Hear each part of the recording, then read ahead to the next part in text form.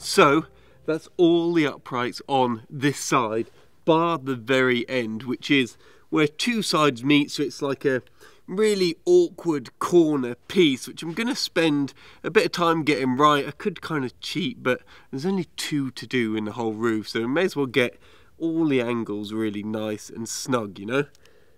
Yeah. We're getting a roof.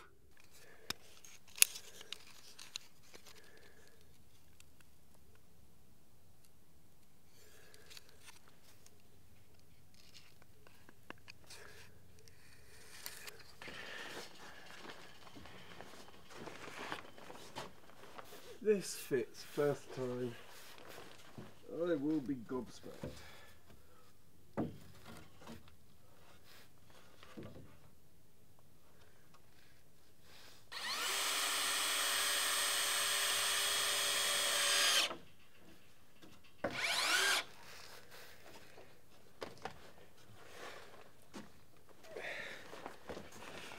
Look, I'm su as surprised as you that I got that up in the first cut. Something's going on here.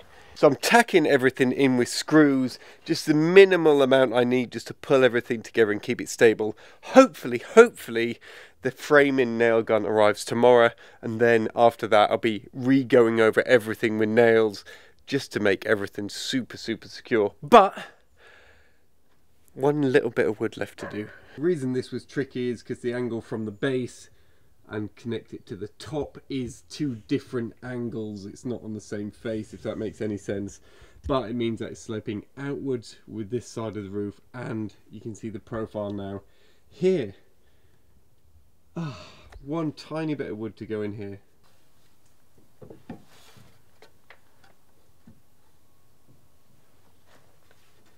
Oh, you beauty.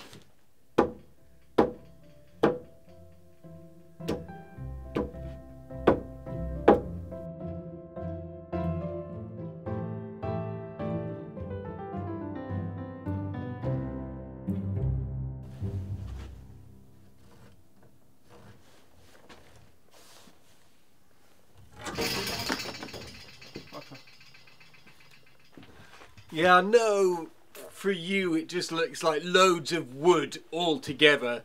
I mean, it is loads of wood all together, but here is actually where one of the dormer windows will go. So it's exactly above all the other windows in the chateau and this is where it was originally. So the framing is here, there's a gap here, even though I'm not putting it in yet. I've put these chevron uprights here so we can just roof the whole thing with no holes in it. But later on, the frame is here ready to put a dormer when we're ready for it. This is brace now with a through brace, which is really quite a traditional way, kind of, it looks like one long brace, but it's split up, you know, on all the uprights.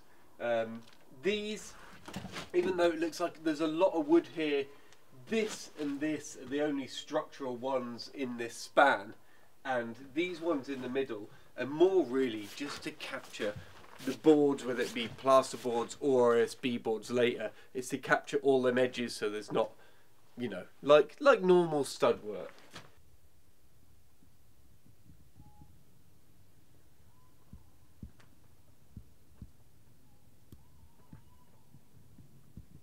So I've just got to brace this other side and that's pretty much that ready to go bar a few little faffy bits. So tomorrow Nick's going to be here and we're going to look at doing this side. So the channel's going to be filled with plaster and the beams are going to be set in it. Which will then allow me to put the slope on that side and then we've got one side to go and then it's the whole apex, the A-frames.